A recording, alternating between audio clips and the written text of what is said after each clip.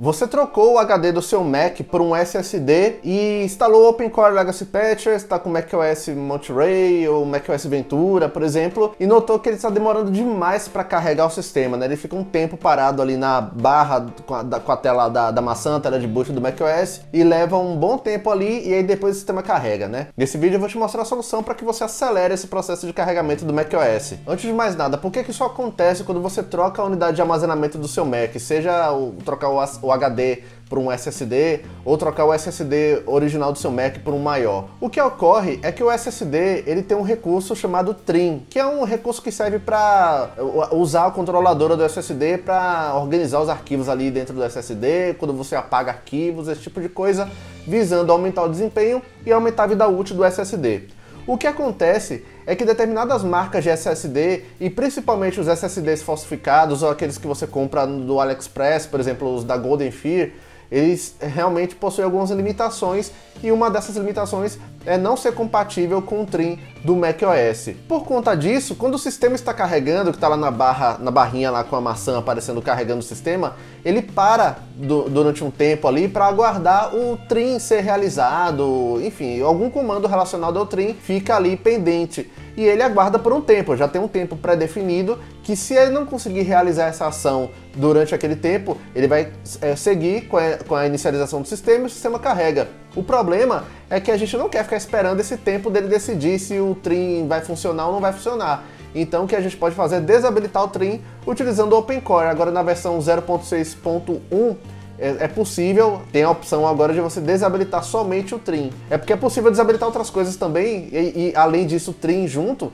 só que você vai desabilitar outros recursos do sistema que são interessantes. Curiosamente, aqui nesse iMac, quando eu usava um SSD da SanDisk, um SSD original, o trem funcionava e o sistema carregava numa boa e, e, bem rápido até. Quando eu troquei por um SSD da Golden Fear, que é um SSD que eu comprei no AliExpress, eu notei que realmente essa lentidão era bem aparente, ele demorava de carregar e depois a gente foi ver que não era compatível com o trim do Mac e realmente isso acontece, né? O trim do, do Mac OS. Então eu vou te mostrar agora o tempo de carregamento com o trim ativado em um SSD que não é compatível com o trim do Mac OS e você vai reparar como que vai demorar. Eu vou colocar um, um cronômetro aí na tela para a gente comparar o tempo. E se você quer mais dicas de Mac OS, iPhone, Apple Watch, gosta do ecossistema Apple e de vez em quando algumas dicas de Windows, não deixa de se inscrever aqui no canal. Toda semana eu trago vídeos com dicas muito interessantes.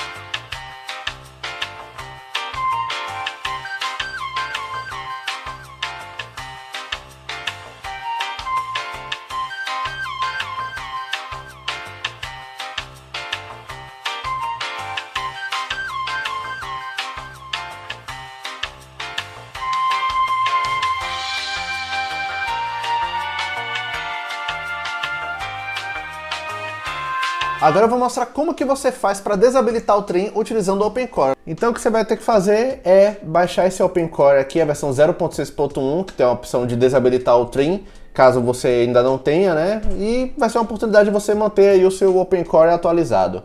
Então depois de você baixar aí o OpenCore na versão 0.6.1, que é a que tem a, a opção de desabilitar o Trim, você vai vir aqui em Settings e você vai vir aqui em Mix Settings. E aí você vai desmarcar essa opção aqui, ó, APFS Trim. Vai desmarcar ela e vai voltar para versão para o menu anterior. Antes era possível até você vindo aqui em Developer Settings, você iria desabilitar, se não me engano, essa, essa opção aqui, né? Só que ela não. Ela desabilitou outras coisas também, tá? E a gente só quer desabilitar o Trim, que é o que realmente está atrapalhando aí carregar o sistema, né? Fazendo a demora no caso, né? Ah, e só uma curiosidade, aqui em, em Piker Timeout é o tempo que você quer que ele fique ali naquela tela de seleção de boot, né? Para você selecionar qual unidade você quer iniciar. E se você não quiser que apareça nenhuma, na verdade, você pode voltar aqui e você vai é, desmarcar essa opção aqui, ó, Show Boot Piker. E aí ele não vai aparecer aquela tela de seleção de boot lá. Ele já vai, você vai ligar o computador e já vai iniciar o macOS direto. No caso, como eu preciso fazer testes aqui, usar o computador para fazer outras instalações também, eu vou deixar marcado aqui para ser mais prático para mim.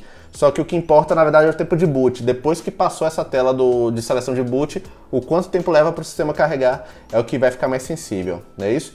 Então eu vou voltar aqui, já desmarquei aqui, né, a PFS Trim, é só desmarcar essa opção, vou retornar aqui para o menu principal e vou clicar aqui em Build and Install OpenCore. Toda vez que você fizer uma alteração ali no, no OpenCore, você tem que vir aqui em Build and Install OpenCore para que ele valide isso e, e substitua os arquivos que você, é, que você alterou ali quando você desmarca aquelas opções lá, tá bom? E eu aconselho não ficar mexendo ali em tudo não, porque você pode criar algum problema, é, só onde eu falei mesmo. E aqui eu vou selecionar a unidade, né, onde está instalado o macOS, a minha partição EFI, colocar a senha de usuário do macOS e dar um OK. E aí ele vai sobrepor. É assim que atualiza também o OpenCore, ele instala por cima da versão anterior. Agora basta clicar aqui em Reboot e ver que o sistema vai carregar mais rápido quando você está usando um SSD que não é compatível com a função Trim. Bom, então eu desliguei o computador para a gente poder comparar o tempo de carregamento com o que a gente teve antes aí de fazer a modificação no Trim, né? Lembrando que o SSD que está aqui, ele não é compatível com o Trim, é um SSD comprado na AliExpress da Golden Fear. Antes eu estava usando um SSD da SanDisk, original, evidente, que ele era compatível com o Trim e eu não precisava fazer essa, essa operação aí de desabilitar o Trim porque era, ele era compatível com o Trim, então carregava rápido. Então vamos ligar aqui o Mac para ver se mudou alguma coisa.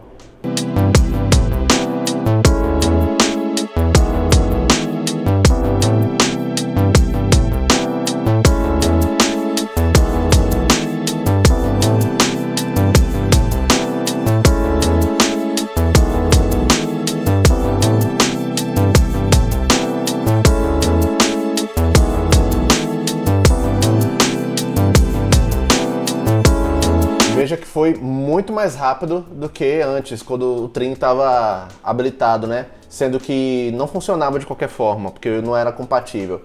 Então aqui está resolvido, agora o seu Mac vai carregar muito mais rápido. Eu vou até fazer o login aqui para gente ver o tempo aí para carregar aí o sistema, que eu acho que aqui já não muda muita coisa. Mas veja que está relativamente rápido para um computador de, sei lá, 15 anos aí, né, praticamente de uso. Viu? Uma solução simples resolve esse problema chato aí do carregamento. Lembrando que se você comprar um SSD de uma boa marca, por exemplo, Kingston, SanDisk, marcas conhecidas e que o SSD seja original, muito provavelmente você não vai ter esse problema porque ele vai ser compatível com o trem do macOS. Qualquer dúvida, sugestão, pode comentar aqui no vídeo, eu sempre respondo aí na medida do possível com o maior prazer. Vou ficando por aqui, um grande abraço e até o próximo vídeo. Valeu!